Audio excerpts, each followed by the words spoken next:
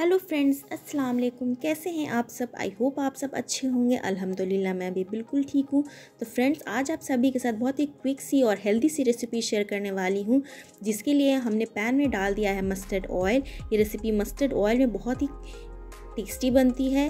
तो mustard oil जब गर्म हो जाएगा तो प्याज और हरी मिर्ची हमें डाल देनी है। मिर्ची आप अपने टेस्ट के अकॉर्डिंग कम ज़्यादा कर सकते हैं। और प्याज को ना थोड़ा सा सॉफ्ट करना होगा हमें, फ्लेम को हाई करके। और फिर सर्दियों का मौसम है जब गर्मा गर्म मटर और आलू की घुगनी नहीं खाएँगे तो मज़ा नहीं आएगा। तो प्याज जब थोड़े सॉफ्ट हो जाएँगे ना तो ये छोटे छोटे पीसेज में मैंने आलू कट किए हुए उसे डाल देने हैं।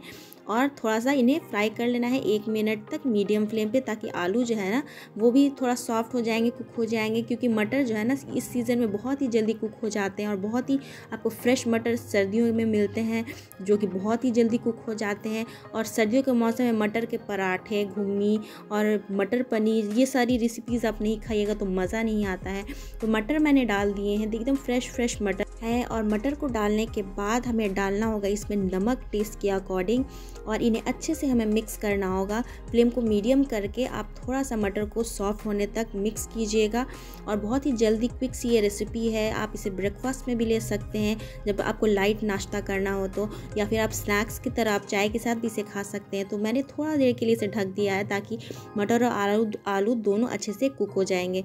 तो थोड़ी देर के बाद, एक मिनट के बाद मीडियम फ्लेम पर रखने के बाद मैंने आपको लिड को ओपन करके इसे अच्छे से मिक्स कर लिया है। और फ्रेंड्स, जब ये कुक हो जाएँगे ना तो जब तक आलू, देखिए, आलू तो अच्छे से कुक हो चुके हैं, मटर भी ऑलमोस्ट कुक हो चुके हैं और इनके कुक होने के बाद फ्लेम को हाई करके हमें इसे अच्छे से भूनना होगा, तभी अच्छा फ्लेवर आता है।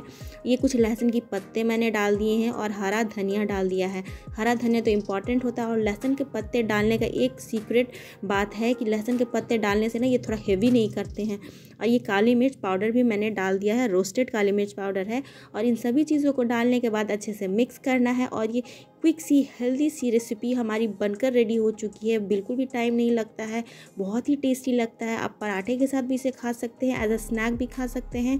तो बनकर रेडी है हमारी क्विक सी बिहारी स्टाइल में मटर की घुगनी, जो कि बहुत ही हेल्दी है, बहुत ही टेस्टी बनती है। तो चलिए फटाफट से इसे सर्व करते हैं और इन्जॉय करते हैं। रेसिपी अगर अच्छी लगेगी तो लाइक कर दीजिएगा, शेयर कीजिएगा और चैनल पर नए हैं तो ज़रूर सब्सक्राइब कीजिएगा। मिलती हूँ आपसे नेक्स्ट वीडियो में नेक्स्ट रेसिपी के साथ। तब तक के लिए अपना ख्याल रखिए। बाय बाय अल्लाह हाफिज़।